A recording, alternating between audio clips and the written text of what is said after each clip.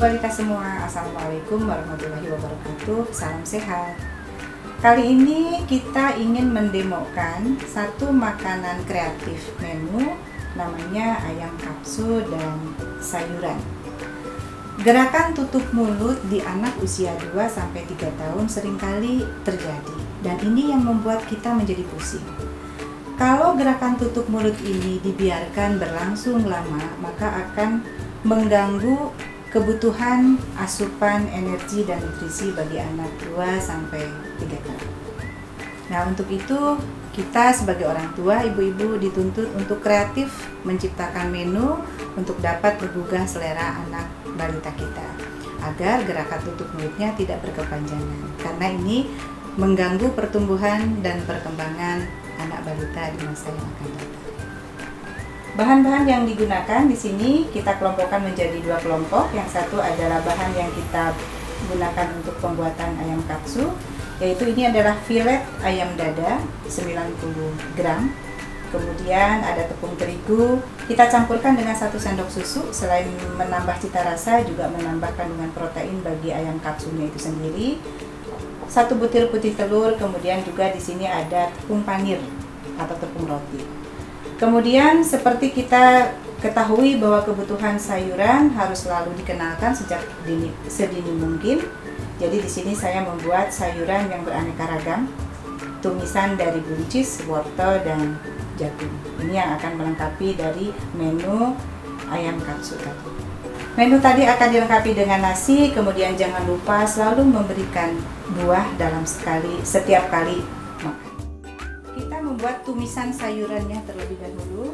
Seperti biasa, kita gunakan sumber lemaknya adalah minyak goreng. Cukup satu sendok makan saja.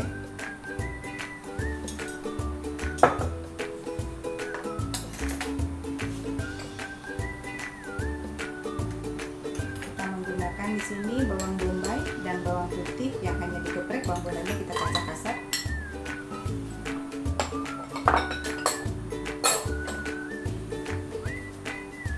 Kita tumis dulu sampai harum, beraroma ya ibu-ibu ya.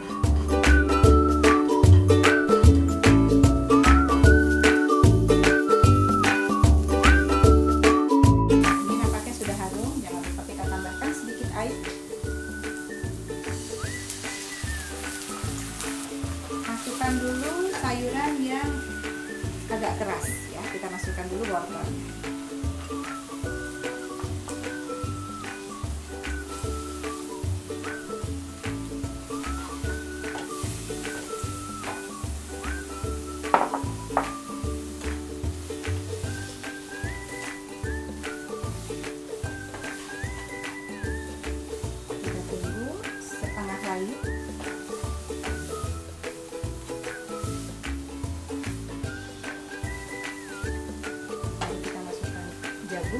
Jagung manis ya, jadi memang tidak terlalu lama untuk memasaknya.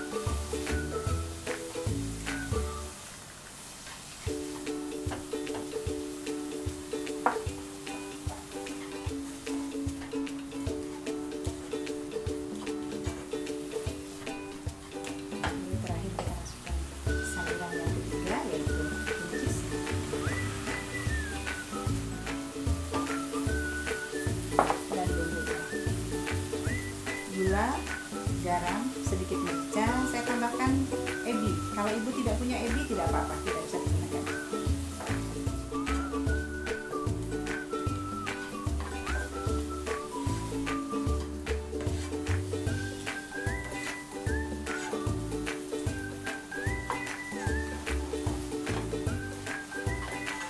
Karena ini adalah untuk anak usia 2 sampai 3 tahun, tentunya keempukannya harus sedikit lebih empuk dari orang dewasa ya ibu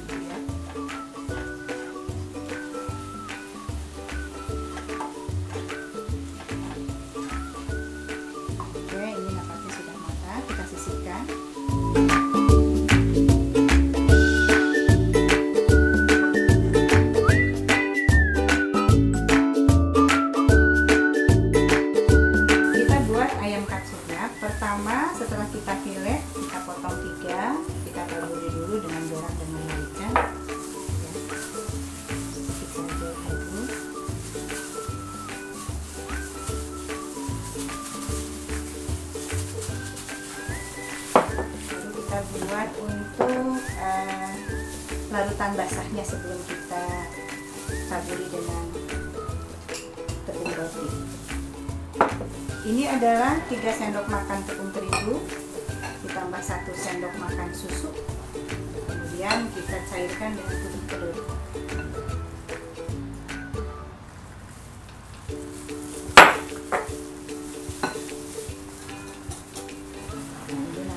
Kurang cair kita baru tambahkan air sedikit demi sedikit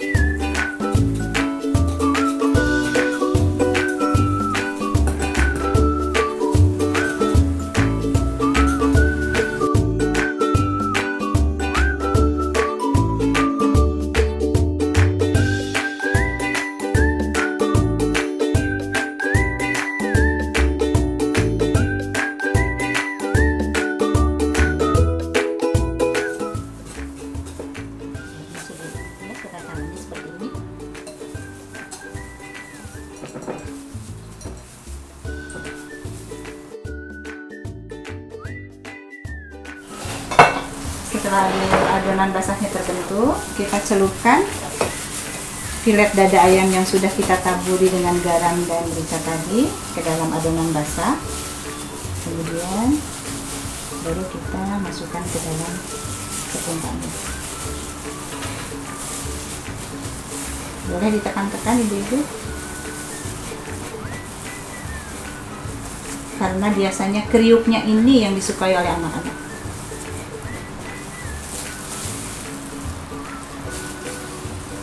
kita lakukan hal yang sama.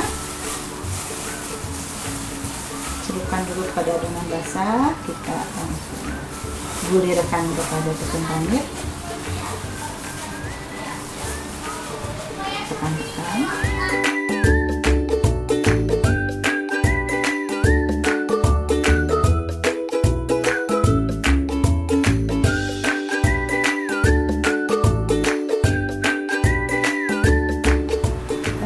yang terakhir adalah kita goreng dengan penggorengan uh, yang cukup banyak minyak ya kita kenal dengan deep frying yaitu menggoreng sampai bahannya terendam minyak semua. Tujuannya adalah supaya terjadi penetrasi minyak ke dalam uh, bahan dan matang sampai ke dalam sehingga keamanan dari makanan ini bisa terjamin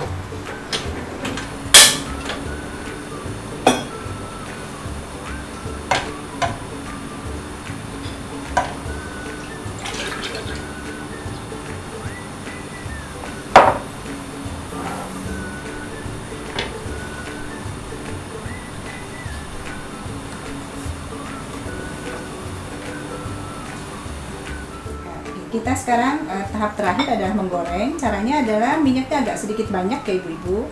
Panaskan dulu minyaknya nanti setelah panas baru kita kecilkan.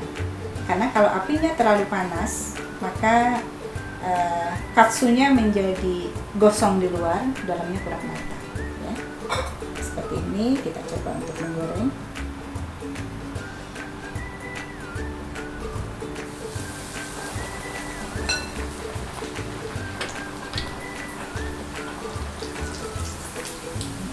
dibalik-balik ya. Harus terendam.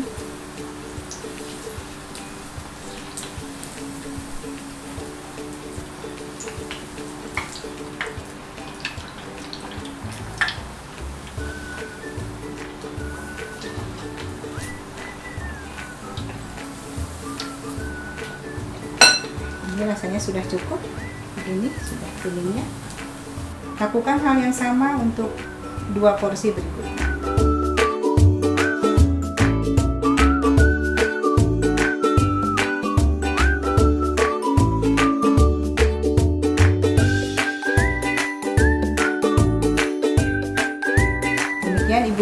Ibu-ibu demo masak kali ini. Mudah-mudahan menambah wawasan, meningkatkan ide kreativitas ibu-ibu untuk tetap menciptakan menu kreatif agar anak-anak tetap mau makan tidak GTM lagi. Assalamualaikum warahmatullahi wabarakatuh.